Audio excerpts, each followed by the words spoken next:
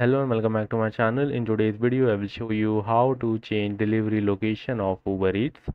So let's get started. First of all, you will have to log in into your Uber Eats account and then you have to enter your delivery address and if you have already entered the delivery address then you can also add or change the address that you have already added and after adding the new address you just have to click on save.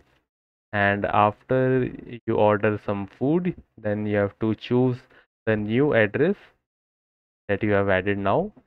So that's it for today's video. If you like this video please do not forget to subscribe to our channel. Thank you